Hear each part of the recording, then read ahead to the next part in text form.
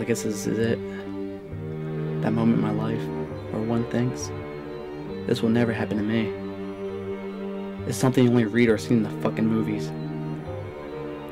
I guess this is the part where I say, what the fuck could I have done to deserve this? Oh wait, what am I saying? Shit. A few things do come to mind. Was it the neighbor's dog I killed when I was 10? No, that can't be it. My first car stereo I stole?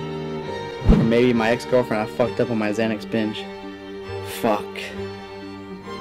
I guess those are kind of bad things. Still, that's fucking besides the point. Damn. My shoulder feels like I've been nailed to the cross for three days. Every breath feels like torture. How am I gonna get the fuck out of here? Okay, okay, okay, let's think here. Think survival. How long can a human survive without adequate water? Something like three to four days? Damn! I should have paid more attention in health class.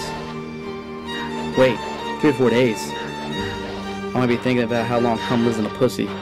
Fuck! I'm in a life or death situation and all I can think about is sex. I'm gonna kill those motherfuckers, I swear. They didn't have the fucking decency to finish the job. Okay, okay. First things first. What's the last thing I remember? Alright. It was payday. I was with Chris.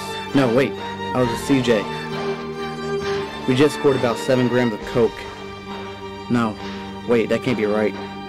There was four of us. It had to be more coke. Okay, so far all this sounds pretty normal.